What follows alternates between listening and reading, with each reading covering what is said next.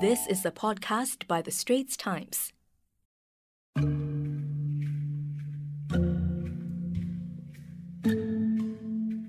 Welcome to the Invisible Asia podcast, a series in which The Straits Times casts the spotlight on little seen or talked about segments of society across the region. I'm your narrator, Jia Ning Tan. South Korea's Muslim minority. Song Bo-ra goes everywhere in her hijab. She's South Korean and is a Muslim convert. So she dons the Islamic headscarf, also known as the tudung, before heading out each day. In a country where there are few Muslims, not to mention Korean Muslims, she stands out in a crowd. Sometimes people stare at her, but staying true to her beliefs is far more important to her than fitting in with the masses.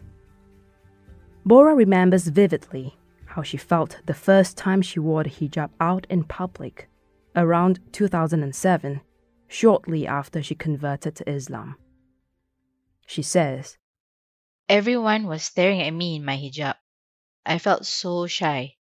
I ended up going to hide in a public toilet in a subway station. I waited until the crowd dispersed before I dared to come out.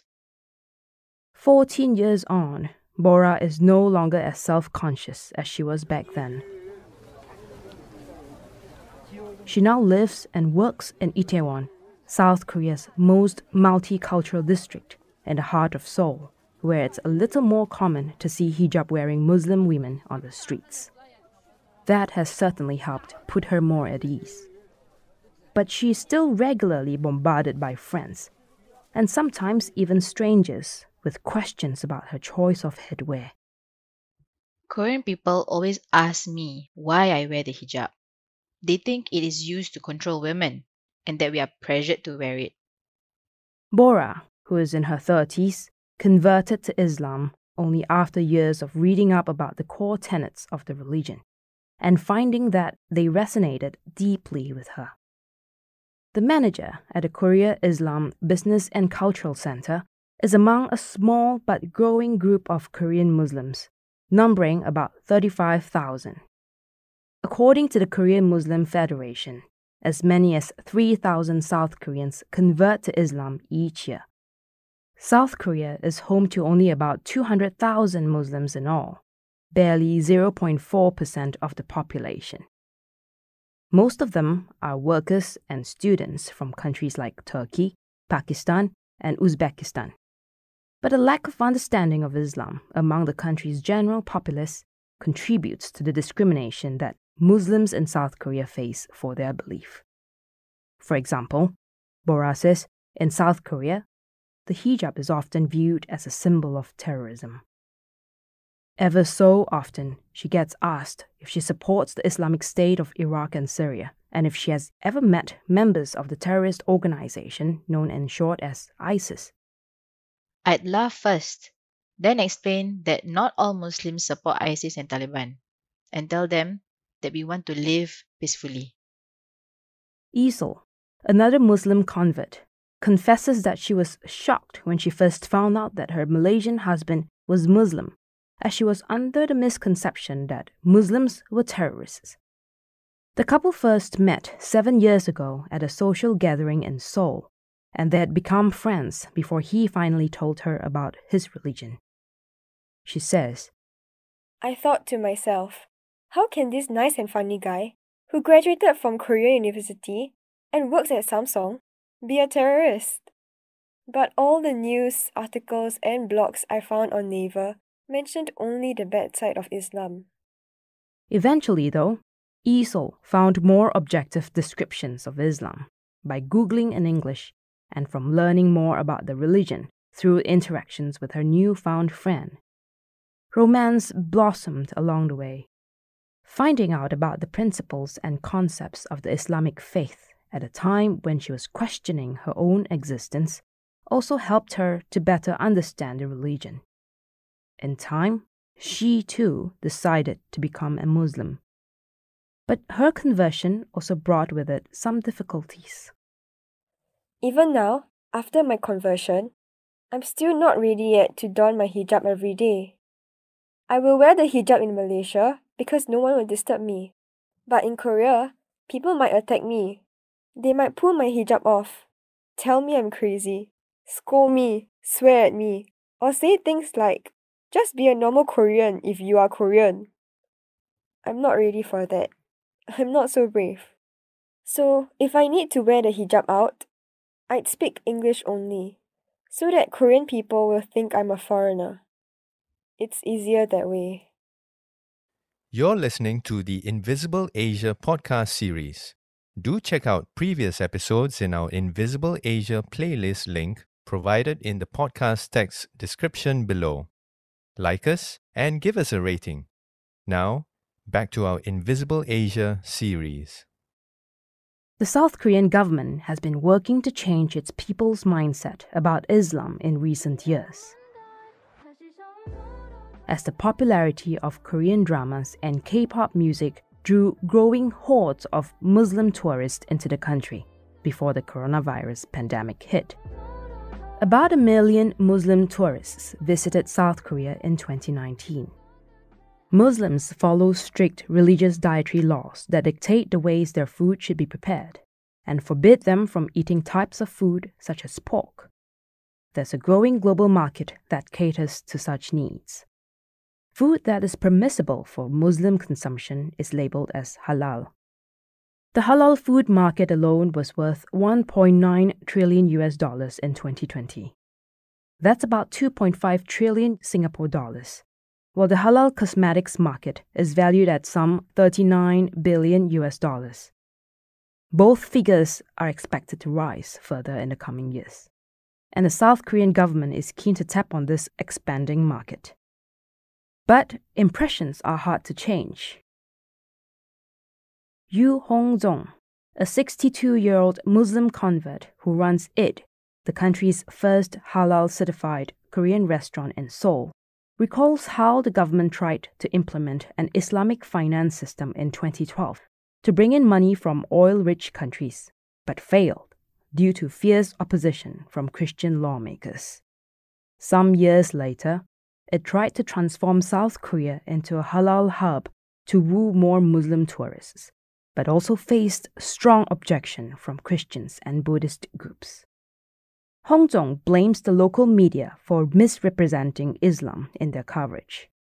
Many Koreans associate the religion with terrorism because of a 2007 incident in which members of the Taliban captured 23 South Korean missionaries in Afghanistan and executed two of them before the South Korean government reached a deal to secure their release. The saga dominated headlines in South Korea for weeks, creating a lasting negative impression on the religion in the country. Hong-jong says, People just don't want Islamization to happen in Korea. Now, when the Christians came to Korea, they spread their faith through charity work, building schools, and hospitals, and grew to become a very powerful force in society. So, Korean people, they think Christians are good people because they did a lot for us. But Korean people are biased against Islam because of what they see in the media, like war and instability in Iraq and Afghanistan. Because of that, the first thing Koreans know about Islam is terrorism. Hong-jong has noticed a slight softening in people's attitudes more recently, though, which he credits to the current government's focus on deepening engagement with Southeast Asia. South Koreans are only now starting to realize that Islam is a way of life, not just in the Middle East, but also across Southeast Asia, he says. And Southeast Asia has for years been the most popular travel destination for South Koreans. Hong-jong and his family converted to Islam in 2014, influenced by his eldest son who had studied the Arabic language and Islamic finance and converted to the religion nine years earlier. That same year, he opened his halal restaurant to cater to Muslim students, workers, and tourists who want to have Korean food with the assurance that they aren't going against the religion's dietary laws. Buoyed by his restaurant's instant success at home, Hong-jong expanded abroad from 2016, opening four branches in Muslim dominated Malaysia, where two of his sons now live and where the popularity of Korean dramas and K pop music have spawned a huge craze for halal Korean cuisine. There's very strong demand for halal Korean food. I have many Singaporean customers, and they have asked me to open a branch in Singapore too. Many young Korean Muslims have in recent years also taken to social media to share their experiences with Muslims abroad, as well as to raise awareness about Islam with the locals, with some success. 32 year old Lee Seul today runs a YouTube channel with her husband, Muhammad Khalid bin Ismail. Their channel, Kimchi Budu, which is linked to their Muslim travel agency of the same name, has nearly 48,000 subscribers. Each video they produce can rack up as many as hundreds of thousands of views. Kimchi Budu's mission is to help Muslim tourists navigate South Korea to find halal food and praying spaces more easily. They also have tutorials on how to prepare halal Korean cuisine. Because of the global travel restrictions due to the pandemic, the couple has since shifted focus. They now provide consulting services in halal tourism, such as advising government officials on how to deal with the needs of Muslim people in the country and how to make South Korea a more Muslim friendly place for all. Lee Seul says, As local Muslims here, we know how to blend the Korean way with the Muslim lifestyle. My husband has lived here for 14 years. Just before we got married in 2017, I converted to Islam. At first, my family was worried that I would have a hard time because of the rules like having to pray five times a day, fasting during Ramadan, and abstaining from pork and alcohol. But I was determined to share my husband's values and lifestyle. Song Bo-ra, too, is something of a social media influencer with nearly 200,000 followers on Instagram. Bo-ra says the driving force for her presence on social media is to promote mutual understanding between Korean Muslims and non Muslims, as well as to help foreign Muslims understand South Korea better. In seeking to communicate the harmony that can exist between her nationality and religion, she often posts pictures of herself dressed in a traditional hanbok costume and a matching hijab. Her fusion fashion style has earned her many compliments, but also some flack. One hater on my Instagram once commented, I'm sure you'll wear a bomb jacket one day. This is all just a misunderstanding of my religion. You've been listening to Invisible Asia.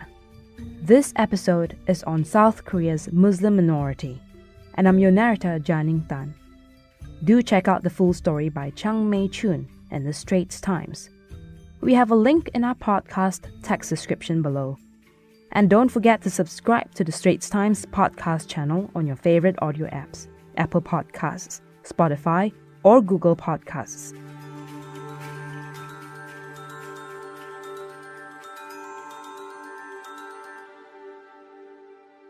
That was an SPH podcast by the Straits Times. Find us on Spotify, Apple or Google Podcasts, or streaming on Google Home. Do feedback to us at podcast at sph.com.sg. You can also check out more podcasts on various topics at The Straits Times, The Business Times, and Money FM 89.3.